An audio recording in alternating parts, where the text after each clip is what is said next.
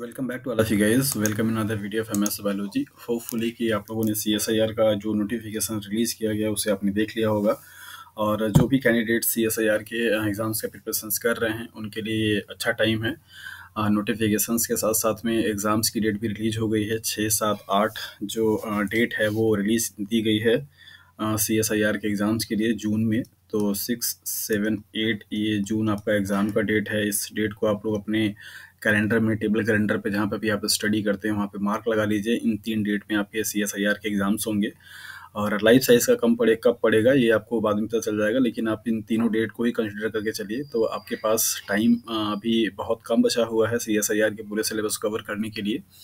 So first of all ये कि जितने लोग भी प्रिपरेशन कर रहे हैं पहले वो अपने फॉर्म को फिल कर लें ताकि लास्ट डेट में जाकर के जो प्रॉब्लम्स होती है उस चीज़ का इशू ना हो। आप अपने फॉर्म को फिल करके अपने माइंड को सेटल करिए और अच्छे तरीके से पढ़ाई स्टडी पे अपने फोकस कीजिए। सो so, जितने भी candidates C S I R के एग्ज़ाम्स की प्रिपरेशन कर रहे हैं जैसा कि उनको अच्छे तरीके से पता है अगर जो लोग पहले एग्ज़ाम दे चुके हैं उन्हें अच्छे तरीके से मालूम होगा कि सी एस आई आर का स्टैंडर्ड कैसा होता है किस टाइप के प्रॉब्लम्स आते हैं। और जो लोग अभी फ़र्स्ट टाइम पे अपियर हो रहे हैं सी एस आई आर के एग्ज़ाम्स में तो उनके लिए यही सजेशंस है कि बेसिकली सबसे पहले आप स्टडी के साथ साथ में प्रीवियस ईयर के जो आपके क्वेश्चन पेपर हैं, उनको आप अच्छे तरीके से आंसर्स कीजिए। आप वहाँ पे जब पेपर को सॉल्व करेंगे तो आपको समझ में आएगा कि हाँ किस लेवल का और किस टाइप का question C S I R के एग्ज़ाम्स में आता है। विदाउट प्रीवियस ईयर के एक्सपोजर का अगर आप स्टडी कर रहे होंगे तो शायद आपको एक प्रॉपर डायरेक्शंस नहीं मिल पाएगा कि आपको क्या चीज़ पढ़ना है और कितने लेवल का पढ़ना है। So this is recommended to all the beginners जो जिन जो जो जो कि अभी फ़र्स्ट टाइम पे exam C S I R का देने जा रहे हैं। उनके लिए ये सब ये सजेशंस है कि पहले वो प्रीवियस ईयर के क्वेश्चन पेपर को अच्छे तरीके से रीड आउट करें। एक हफ़्ते का टाइम अगर लगता है तो लगने दीजिए, कोई दिक्कत नहीं है। लेकिन आप कम से कम चार से छः जो पेपर आपके पास अवेलेबल है, वो ऑनलाइन पे सी एस आई आर के वेबसाइट्स पे, आप उनको अच्छे तरीके से पहले पेपर को डाउनलोड कीजिए, उनको आप स्टडी कीजिए। देखिए कि हाँ कौन कौन से यूनिट से कौन कौन से टॉपिक से ज़्यादा से ज़्यादा क्वेश्चन आ रहे हैं और किस लेवल का आ रहा है। क्या आपको अभी जो आपकी मास्टर डिग्री की का पढ़ाई है, उसके बेसिस पे आप सी एस आई आर के क्वेश्चन को पकड़ पा रहे हैं कि नहीं पढ़ पा रहे हैं, उनको सॉल्व कर पा रहे हैं या नहीं कर पा रहे हैं, ये सारी एनालिसिस करने के बाद आप अपने जो भी स्टडी मटेरियल आप यूज़ कर रहे हैं कंटेंट को यूज़ कर रहे हैं, आप उनको और उनके लेवल को अच्छे तरीके से इम्प्रूव कर सकते हैं। और जो लोग सी एस आई आर के ऑनलाइन क्लासेस के लिए अगर वो ज्वाइन करना चाहते हैं, जो लोग सर्च कर रहे हैं तो बेसिकली एम एस बायोलॉजी की तरफ़ से सी एस आई आर के लिए ऑनलाइन क्लासेस अभी चल रही है। फ़र्स्ट मार्च से ये बैच स्टार्ट हुआ है, जिसकी जो डिटेल्स है, कुछ इस तरीके से है, उनको सुन लीजिए। सो क्लासेस जो है, वो ऑनलाइन प्लेटफॉर्म पर चलती हैं और डेली जो क्लासेस होती है, वो नाइन पी एम से लेकर के इलेवन पी एम तक आपका डेली रात में क्लास चलती है। क्योंकि मोस्ट ऑफ़ द जो कैंडिडेट्स हैं, वो बेसिकली कहीं ना कहीं टीचिंग कर रहे हैं या फिर उनकी पी एच डी का प्रोग्राम चल रहा है या फिर कहीं पर जॉब करते हैं। सो नाइट का टाइम पे रखा गया ताकि सबके सब अवेलेबल हो फ्री फॉर्म में अच्छे तरीके से पढ़ाई हो पाती है। सो मंडे टू सैटरडे आपका पूरा डे क्या होता है क्लास चलता है आपका नाइन टू इलेवन पी पे। बाकी संडे की जो टाइमिंग होता है, उस दिन हम लोग डिस्कस करते हैं प्रीवियस ईयर के क्वेश्चन पेपर को या फिर जो भी आपके टॉपिक्स डील किए गए, उनके प्रैक्टिस प्रैक्टिस कराने के लिए उनको क्वेश्चन दिए जाते हैं। साथ साथ यहाँ पे जब क्लासेस चलती हैं तो पर डे जो भी क्लास आपकी दो घंटे की होती है, जो जो टॉपिक आपको डील किया जाता है, उस टॉपिक से रिलेटेड प्रीवियस ईयर में आए हुए जो क्वेश्चन होते हैं उनको तीन से चार क्वेश्चन डेली बेसिस पे क्लास में ही क्या करते हैं सॉल्व कराते हैं। सो so, जिससे कि आपको ये समझ में आता है कि जो भी कंटेंट आपको डिलीवर किया गया है उससे आप सी एस आई आर के लेवल को मैचअप कर पा रहे हैं कि नहीं कर पा रहे हैं और ये आप में काफ़ी कॉन्फिडेंस बिल्डअप करता है। तो जो भी कैंडिडेट्स क्लासेस ज्वाइन करते हैं क्लासेस अटेंड कर रहे हैं आ, उनको डेली बेसिस पे तीन से चार क्वेश्चन से एक स्पेसिफिक टॉपिक से क्या होता है एक्सपोजर मिलता रहता है तो उनको धीरे धीरे धीरे धीरे प्रैक्टिस जो है वो चलती रहती है। सो ऑनलाइन क्लासेस अगर आप जुड़ना चाहते हैं तो आप इस नंबर पर जो कि दिया गया है eight three one eight nine one double seven nine two पे कॉल कर सकते हैं या व्हाट्सअप पे मैसेज कर सकते हैं व्हाट्सअप नंबर है और अपनी क्वेरी को पूछ सकते हैं जो भी कुछ आपको इस क्लासेस के रिगार्डिंग में जानना है। आज इस वीडियो में हम लोग बात करेंगे प्रीवियस ईयर के क्वेश्चन पेपर का जो कि सी एस आई आर में आए हुए हैं और आज का हमारा जो टॉपिक है that is a phylogenetic tree है। और फाइलोजेनेटिक ट्री से बहुत सारे एग्ज़ाम में बहुत सारे क्वेश्चन आते हैं आर के एग्ज़ाम्स में देकर के रिलेशन निकालने के लिए कि क्या इनके इंसेस्टर्स में और क्या इनके स्पीसीज में रिलेशन है। तो देखिए ये पॉसिबली कि किस टाइप का प्रॉब्लम आपको इस टॉपिक से मिलता है। सो नंबर पहला क्वेश्चन आपका यही है कि which of the following is not true of all horizontally oriented phylogenetic tree where time advance to the right तो आपसे यहाँ पे एग्ज़ाम में ये जो क्वेश्चन आपसे पूछा गया है, ये क्वेश्चन आपसे बोल रहा है कि कौन सा स्टेटमेंट हॉरिजेंटली जो आपके ओरिएंटेड फाइलोजेंटेड ट्री होते हैं, उनके लिए स्टेटमेंट सही नहीं है और टाइम के एडवांस के के रेफरेंसेस में। तो आपको यहाँ पे देखना है कि ये जो पाँच ऑप्शन आपको यहाँ पे दिए गए हैं, उन फाइव ऑप्शन में से कोई एक ऑप्शन क्या होगा, गलत होगा? बाकी सारे स्टेटमेंट जो होंगे वो फाइलोजेनेटिक ट्री को लेकर के क्या है, सही है।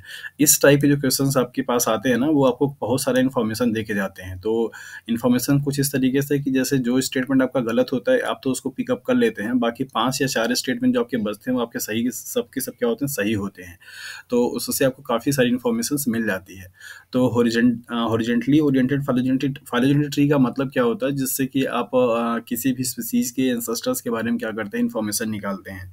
जैसे जो लोग अगर पी एच कर रहे हैं तो उनको अच्छी तरीके से पता होगा, किसी भी बैक्टीरिया का अगर आप मॉलिकुलर आइडेंटिफिकेशन कराते हैं तो सिक्सटीन एस आर आर का क्या करते हैं? आप R R R D R, D N क्या करते हैं? सिक्वेंसिंग कराते हैं। और जिससे कि आप उसको निकालते हैं कि हाँ कौन से स्पीसीज ये क्या करता है? बिलोंग करता है। तो किसी भी स्पीसीज का अगर आपको नॉमन करना होता है आइडेंटिफिकेशन कराना होता है बैक्टीरिया के केस में तो आप इसको सिक्सटीन कराते हैं। और अगर यू कराना होता है तो एटीन का कराते हैं। तो आप फाइलोजेनेटिक ट्री का मतलब होता है किसी भी एक स्पीसीज के जितने भी एंसेस्टर्स होते हैं, उन सभी एंसेस्टर्स का जो रिलेशन है या जो आपका, उनका एवोल्यूशन हो रहा है, उनके बारे में बताने का जो रिप्रेजेंटेशन होता है, उसको आप फाइलोजेनेटिक ट्री के नाम से जानते हैं राइट तो आपसे यही पूछा जा रहा है कि हॉरिजेंटली ओरिएंटेड फाइलोजेनेटिक ट्री के बारे में कौन सा स्टेटमेंट आपका यहाँ पे सही नहीं है, ये आपको देना है। तो each branch point represent a point in absolute time क्या एब्सोलूट टाइम में आपका मतलब जो आपको सपोज़ ये फाइलोजेनेटिक जो ट्री आपको दिया गया है, क्या ये सारा जो पॉइंट आपका होता है मतलब ये जो पॉइंट आपको दिए जा रहे हैं, क्या एक एब्सोलूट टाइम पे गिवन एक पॉइंट को रिप्रेजेंट करता है? या organisms represent at the base of such tree are ancestor to those represent at the higher level. Exactly ये स्टेटमेंट आपका सही है। जो आपके सबसे नीचे की तरफ़ होते हैं मीन्स बेस की तरफ़ होते हैं, वो आपके एंसेस्टर्स को रिप्रेजेंट करते हैं।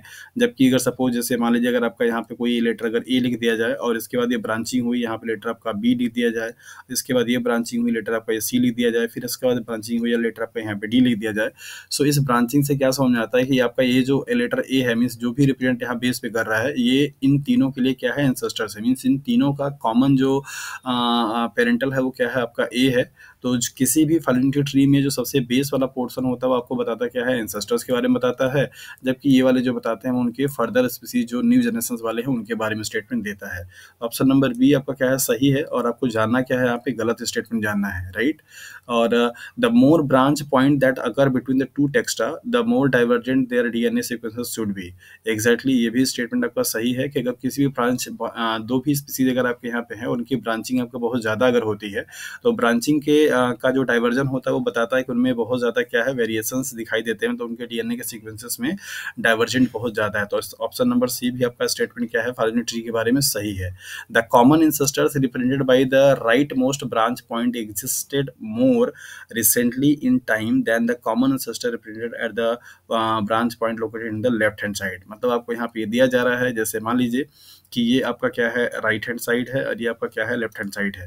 तो ये आपसे यही पूछ रहा है कि जो जो भी एंसेस्टर्स आपके रिप्रेजेंट किए जाते हैं राइट मोस्ट पॉइंट पे एग्जिस्ट करते हैं मोर रिसेंटली और जबकि आपके जो लेफ़्ट हैंड साइड में होते हैं वो आपके क्या होते हैं आ, उनका वो जो रिसेप्टर्स होते हैं मतलब इंसेस्टर्स होते हैं, वो लेटर होते हैं। तो ये स्टेटमेंट आपका सही होता है। राइट हैंड साइड में जो ब्रांचिंग होती है, वो रिसेंट को रिप्रेजेंट करता है, जबकि लेफ़्ट हैंड साइड में जो होते हैं, वो उनके लेटर उनको रिप्रेजेंट करता है। तो स्टेटमेंट नंबर डी भी आपका क्या है? सही है। तो फाइलोजेनेटिक ट्री को लेकर के आपके सीएसआईआर के एग्ज़ाम में एक ना एक सवाल सीएसआईआर के पार्ट सी में ज़रूर से ज़रूर आता है। आप इसको चाहे आ, ये पूछता है कि किसकी बेसिस पे किया जाता है या फिर आपको उसे ट्री बना करके A B C D marking कर देगा उनके में रिलेशन पूछेगा।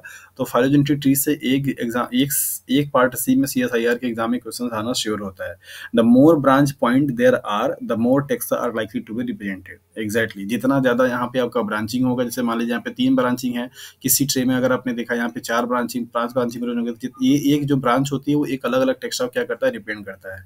तो जितना ज़्यादा आपका ब्रांचिंग होगा, उतना ज़्यादा क्या होगा, आपका टेक्स्ट्रा होगा। तो ये चार स्टेटमेंट आपको यहाँ पे क्या है, सही दिए गए पहला ही जो पॉइंट था आपका क्या है, वो गलत है। That means each branch point represent a point in absolute time ऐसा ऐसा फाइलोजेनेट्री नहीं बताता है। तो ऑप्शन नंबर ए आपका क्या है? गलत है। और चूँकि आपसे यहाँ पे यही पूछा गया है कि कौन सा ट्रू नहीं है तो इस हिसाब से ऑप्शन नंबर ए क्या होगा? आपका सही हो जाएगा। बाकी सारे ऑप्शन आपके फाइलोजेनेट्री ट्री के बारे में सही हैं। तो अपनी कॉपी में जो भी आप स्टडी करते हैं नोट्स बनाते हैं, उनमें इन सारे पॉइंट्स को आप नोट डाउन कीजिए कि हाँ ये सारे इन्फॉर्मेशन होती है फाइलोजेनेट्री ट्री को लेकर के। नेक्स्ट क्वेश्चन जो आपसे पूछ रहा है फेलोजेनेटिक से पूछ रहा है which are the following pairs are the best examples of homologous structure so homologous structures को लेकर के भी कई बार आपसे एग्ज़ाम में सवाल पूछे जाते हैं कि इनका क्या मीन होता है? तो आप इनको पहले समझ लीजिए कि होमोलॉगस का मतलब क्या होता है और किस तरीके से ये फ़ंक्शन को आ, मतलब चीज़ों को आ, का होता है।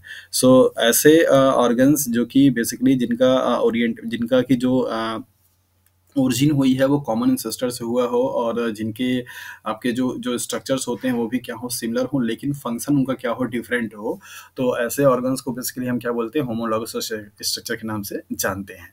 तो होमोलॉगस का मतलब होता है कि जिनका स्ट्रक्चरल में क्या हो लॉगस मीन्स होमो मीन्स होता है कॉमन और स्ट्रक्चरल अगर स्ट्रक्चर्स के बेसिस पे अगर क्या हो, अगर उनका सिमिलरिटीज हो, लेकिन फ़ंक्शन उनका क्या हो डिफरेंट हो तो ऐसे ऑर्गन्स को हम लोग क्या बोलते हैं? होमोलॉगस ऑर्गन बोलते हैं। तो दो तीन चीज़ें आपको यहाँ पे ध्यान रखनी होगी। होमोलॉगस ऑर्गन्स वो होते हैं जिनका की ओरिजिन क्या होता है? कॉमन होता है। जिनके स्ट्रक्चर जो होते हैं वो कॉमन होता है। मतलब जो उसमें पाए जाने वाले जो पार्ट होंगे, वो सब में क्या होंगे? कॉमन होंगे। लेकिन उनका अपनी अपनी नीड के अकॉर्डिंग जो फ़ंक्शन होता है, वो क्या होता है? अलग अलग होता है। जैसे एग्ज़ाम्पल के तौर पर कि हम ह्यूमन बींग का जो हाथ है हैंड है, उनका भी आपके बोन्स के स्ट्रक्चर आप देखेंगे तो ठीक हो मतलब सेम वही रहेगा। बाकी आपके लोअर वाले जो जैसे बैट है, अगर उनका विंग्स का स्ट्रक्चर अगर आप देखेंगे तो उनमें भी वही बोन्स पाए जाते हैं। लेकिन चूँकि बर्ड्स जो होती हैं उनको क्या करना है आपको फ्लाई करना है और आपके हाथ का यूज़ होता है किसी चीज़ को पकड़ने के लिए ग्रैपिंग करने के लिए। सो so, कॉमन जो स्ट्रक्चर है वो दोनों में सेम है लेकिन दोनों के पर्पज क्या है दोनों का जो यूज़ है वो क्या है अलग अलग है। तो ऐसे स्ट्रक्चर्स को बेसिकली हम होमोलॉगस स्ट्रक्चर के नाम से जानते हैं। तो होमोलॉगस का मतलब होता है that is the similar in structure similar in origin but different in function in known as the homologous structure so यहाँ पे ऑप्शन नंबर ए जो है आपका क्या है that is the right answer है। दैट मीन्स यहाँ पे आपको दिया गया है bat wings and human hand इन दोनों का ही अगर आप स्ट्रक्चर देखेंगे तो यहाँ दोनों के बोन्स में सिमिलरिटीज होती है मतलब बोन्स का नाम वही होता है, लेकिन इनके फ़ंक्शंस क्या होते हैं? अलग अलग होते हैं। बैट विंग्स जो होता है वो फ्लाई करने के लिए आपको यूज़ करता है, जबकि ह्यूमन हैंड क्या करता है? किसी चीज़ को ग्रैपिंग करने के लिए यूज़ किया जाता है। तो इस हिसाब से इनके फ़ंक्शंस क्या हो गए? डिफरेंट हो गए, लेकिन स्ट्रक्चर्स इनके क्या है? सेम है। So that is why basically आप यहाँ पे क्या बोलेंगे? होमोलॉगस स्ट्रक्चर बोलेंगे। कभी कभी आपसे एग्ज़ाम में सवाल एनालॉगस से भी पूछ देता है। तो एनालॉगस का मतलब जस्ट उसका उल्टा हो जाता है।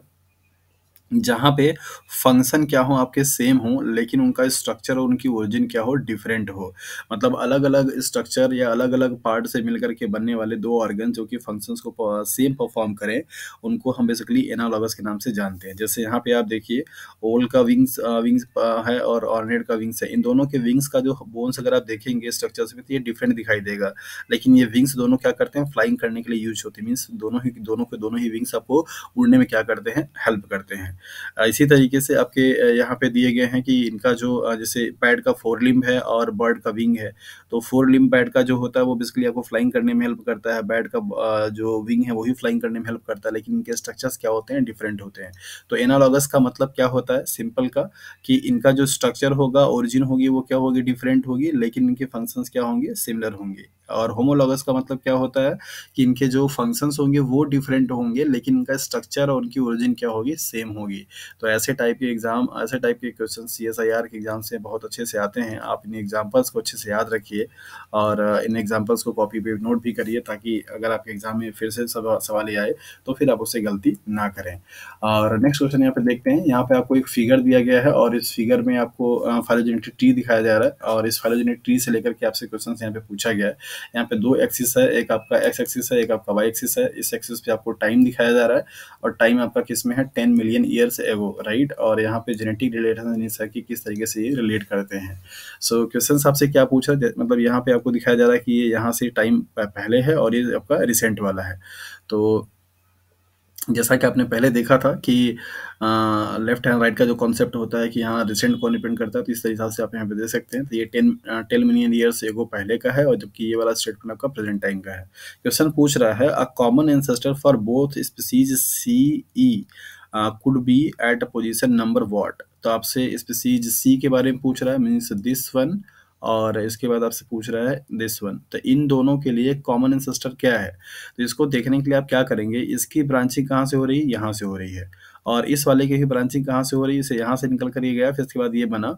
तो इन दोनों की ओरिजिन जो हुई वो कहाँ से हुई है? इस वाले पॉइंट से हुई है। तो पॉइंट नंबर जो फोर है, वो बेसिकली सभी के लिए क्या है? कॉमन इंसेस्टर्स यहाँ पे रिप्रेजेंट करता है। कौन कौन से के लिए? सी के लिए रिप्रेजेंट कर रहा है ई के लिए। तो सी और ई आपसे पूछा गया है तो सी और ई दो की जो अलग अलग स्पीसीज हैं, इन दोनों की ओरिजिन एक कॉमन पॉइंट से हुई है, जो कि फोर को क्या कर रहा है? रिप्रेजेंट कर रहा है। तो option number four means D क्या होगा आपका? सही हो जाएगा। और नेक्स्ट आपसे सवाल यहाँ से पूछा गया, फिर से वही फिगर है आपके और आपका दूसरा यहाँ पे क्वेश्चन है। वही सेम आपका डायग्राम यहाँ पे दिया गया। The two extant species that are most closely to each other दो ऐसे स्पीसीज जो कि बहुत ज़्यादा आपस में क्या है क्लोजली रिलेटेड हैं, उनके बारे में आपसे पूछ रहा है।